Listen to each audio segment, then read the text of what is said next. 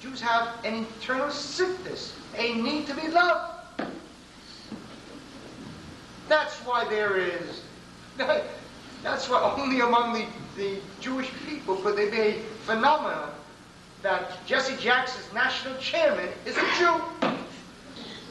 No other normal people would ever have such a thing. Can you imagine the national chairman of some Ku Klux Klan, Klan being a black? Blacks have too much self-respect. The problem of Arabs in Israel is the fact that they believe that the country belongs to them. Why is that so difficult to understand? They believe the country is theirs. They believe that the Jews are thieves. That's the problem. What are you, what are you going to do to them? Say, we know that you believe that we are thieves, so take half of what we stole.